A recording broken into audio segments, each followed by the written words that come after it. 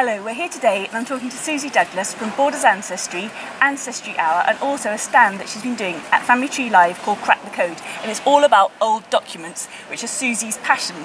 So, Susie, what do you particularly love about these old documents from history? Is it like the, the kind of the primary evidence It's it the, gives you? it's the primary voice. Yeah. Going back to the original document and getting down to the nitty gritty that is in that document that has been written by the person for a purpose. So you're not reading a book where it's had anything No, in yeah? you're not relying on a secondary secondary voice that has been written at a later date. It's going back to the source, the original source, wherever possible. Yeah, and so with that, is it that also it's like the vocabulary? It's very, it's a very kind of a different world, isn't it? Oh, so yes. how do you actually tackle this crazy old handwriting? What skills do you Well, need? I think the first skill is actually tackling the handwriting and getting to know the letter forms themselves.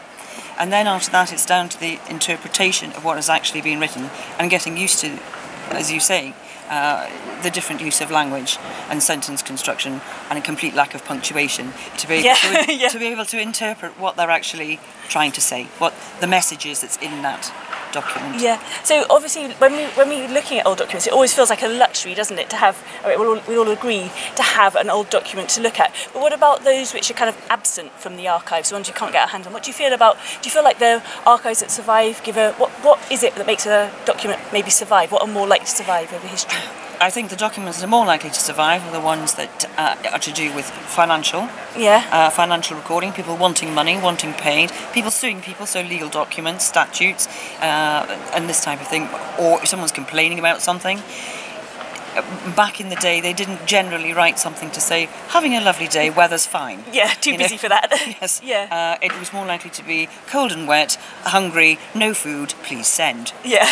So Susie is a fourth generation family historian, which is something which makes me really jealous to have family history as a love in your family for so long. She's got a whole wealth and passion for history and family history.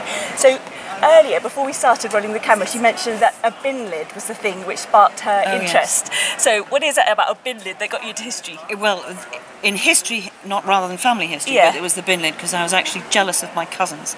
My Yeah. cou- My, my, cousins' uh, farm next door to Flodden Field, and when they were children, they were given a metal detector.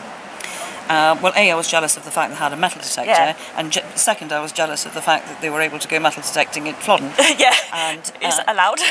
yeah, well, if you own the land, yes. Okay, okay. Yeah. Uh, um, and then, of course, they heard that they'd found something, and oh, great excitement! Oh, they thought they'd found a shield. It's a big thing. Oh, it's big. It's big. Anyway, they ended up digging it up, and it turned out to be a dustbin lid. Um, but it was a very special dustbin lid yeah, of course. Yeah. because it had two handles. Yes.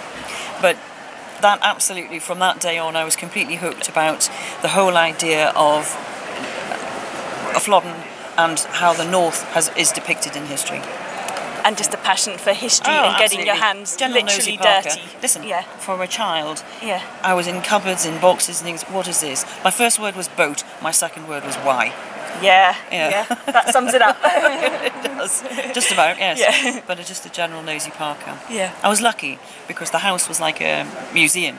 yeah, So the papers were just left. They were left in boxes, and you know you Yeah. could go rummaging around. yeah, Yes. yeah. Fantastic. great. Thanks, Ed Susie. Yeah.